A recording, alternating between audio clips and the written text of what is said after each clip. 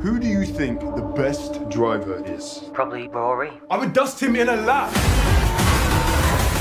Jann, all you do is play video games with some crazy dreams of racing cars. Dad, you're the one that told us to always do something we love. You know what racing cars cost? Look around. It's not our world, son.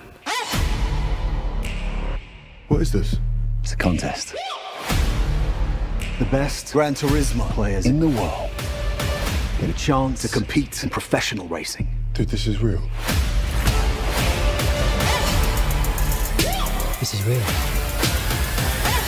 I'm sorry. You really think you're going to take a kid who plays video games in their bedroom, you're going to strap him to a 200 mile an hour rocket? It'll tear him to pieces.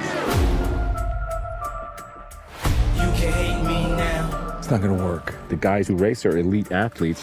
But I won't stop now. Your kids are scrawny little gamer kids. Well, that's where you come in. Come on, let's go!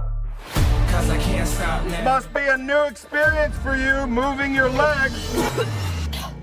You puked on my lawn. There's no turning back now. When you're in a race, the cockpit is going to be 140 degrees Fahrenheit. The G forces will be twice what an astronaut experiences upon liftoff. I can't see anything.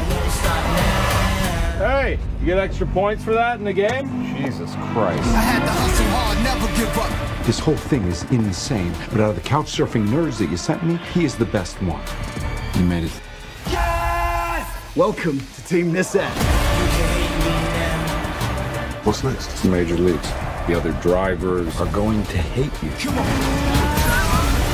Whoopsie. Dude, what is your problem? It's part of the game. It's called racing. But I won't stop now. If you miss a line in the game, you reset. You miss it on the track, you could die. You hate me now. But I won't stop now. I know this track. Because I can't stop now. I've raced it a thousand times. That's what I'm talking about